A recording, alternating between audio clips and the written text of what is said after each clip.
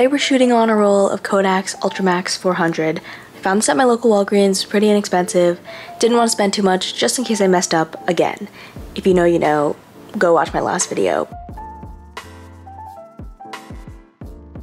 But anyways, I think I figured out the problem with my last roll of film. Definitely did not load the film correctly, so this time I made sure to take a few test shots, make sure the film got caught before closing the back of the camera.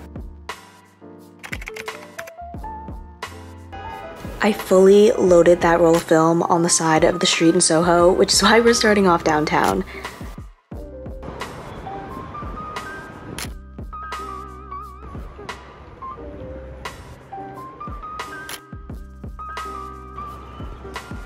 Then I made my way to the East Village because I was meeting my friends Alex and Braden for ramen at Momofuku Ramen. It was very delicious. So here's a shot of them with the food. Okay, ready? Three, two, one.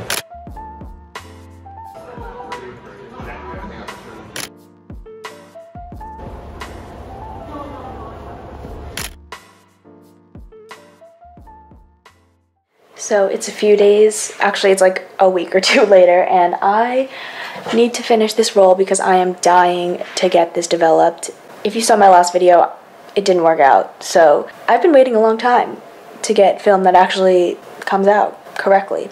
So during my lunch break today, I'm gonna go to my favorite spot and just take some pictures and capture it. But I'm currently wearing my pajamas, so let's put on an outfit. Also, I got a new camera, if you couldn't tell. My clips from the beginning are very zoomed in because I had this 22 millimeter lens on my Canon M50. I just wanted something that was convenient to carry but I ended up getting this Sony ZV-1. I'll show you. It is just the perfect size and love the little mic. Just overall so much more compact and had such good reviews that I had to get it.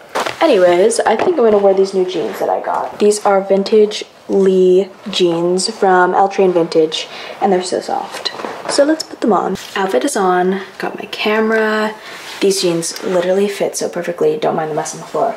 Also wanted to show you, I bought this new camera off of Etsy and new video is gonna be coming soon, obviously but it's an Olympus Infinity stylus. I was using my Minolta that I talked about in like all of my other videos and the shutter button was just taking so long to focus so I figured I'd treat myself and pick up this. I have been getting a lot of TikToks on my For You page about the Olympus Mju and this is the American equivalent. So I'm excited to test this out and tell you guys about it. So make sure to subscribe and stay tuned for this.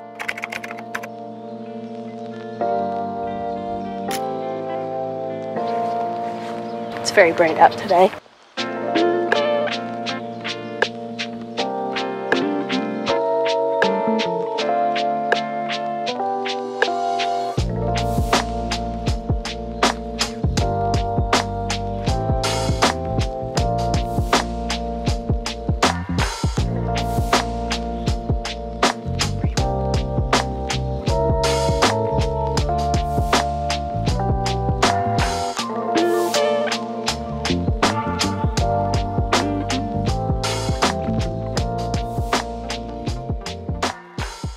I've pulled over here on the side of the road because this view is just very pretty. Yes.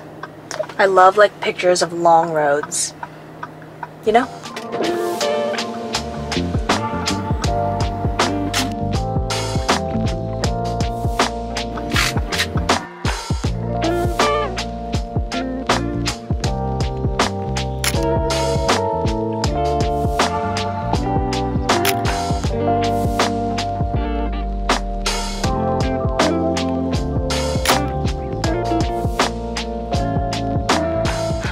One reason why these are better than a point shoots because you can take mirror selfies because there's no flash. So that's what I'm gonna do. Before I show you the clips of me taking this shot, I wanted to show you what the actual result was. I had some issues, but I ended up getting the shot, which was really cool.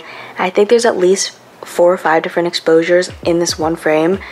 I could not tell you how I did it. It was definitely because I messed up when winding the film and reaching the end of the roll. But anyway, it looks really cool, and I'm really obsessed with how this turned out. Uh-oh. No, why is it stuck? Uh-oh. Alright. This is not, oh, that did not sound good. I don't like that. Okay, I totally realized this might be a roll of 24, not 36, which is why it was being weird. So I'm gonna rewind it.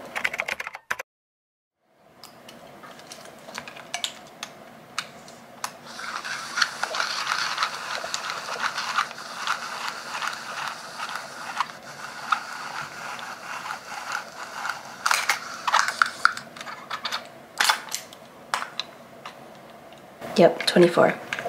Perfect.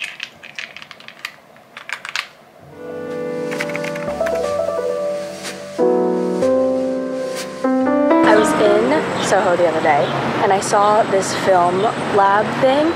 So I'm going to go check it out. I have three rolls that I need to develop.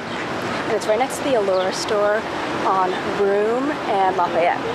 It's called the Color Lab and it looks really cool. I have the portrait roll from my last video that is probably busted, the roll from this video, and a black and white roll that I had from like freshman year of college that I never got developed because my local place doesn't take black and white. Also, it's so hot out. I'm literally so out of breath right now. And I'm also vlogging in public, which I never do. So this is interesting.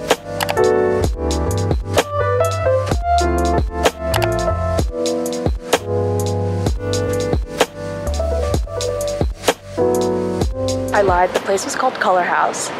It ended up being like 65 because there was a black and white roll in there. I think it was $5 more for the black and white, but she said it'll come back on Sunday. It's Friday right now, so not too bad for a turnaround time.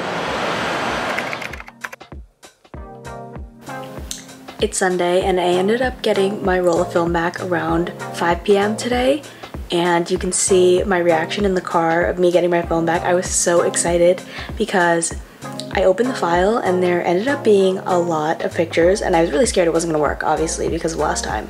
So my excitement was genuine and I loved how the pictures turned out. You obviously saw all the pictures from this video, but I also got a ton of pictures from my black and white roll from almost two years ago that I never got developed. I'll insert some of them here. It was a black and white roll and I totally forgot about it. So that is always the best feeling ever when you get pictures back that you totally forgot about and you get these memories back that you forgot about. Then I had six pictures from my Portra 400 roll that I thought was busted from my last video. There are definitely a lot of light leaks, but I'm glad I got something out of them and I'm really just obsessed with the colors of the Portra 400, so I need to get it and use it in a future video. It's just so expensive. I hope you guys enjoyed this video. I had so much fun taking you guys along and editing this video too has been so much fun. And I hope to do more videos like this. So make sure to subscribe and comment and like. Also follow me on Instagram. I will be posting more film on there. I promise you. Bye.